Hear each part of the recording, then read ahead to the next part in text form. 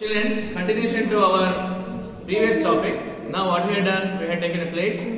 So we lighted the candle and we pour the water in the plate.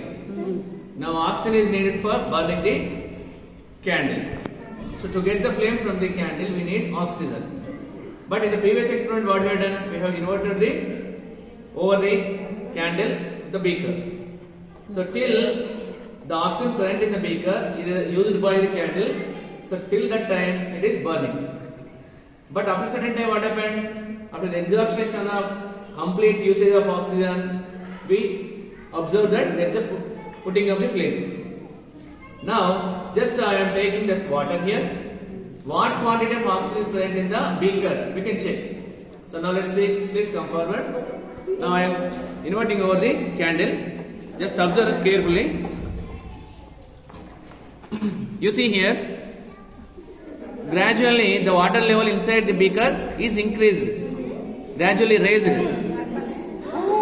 You see here, it's not a magic. It is like a magic. Right? Now you can understand that this much amount of volume of the oxygen is present inside the beaker. So that is a checking of quantity of oxygen in the beaker.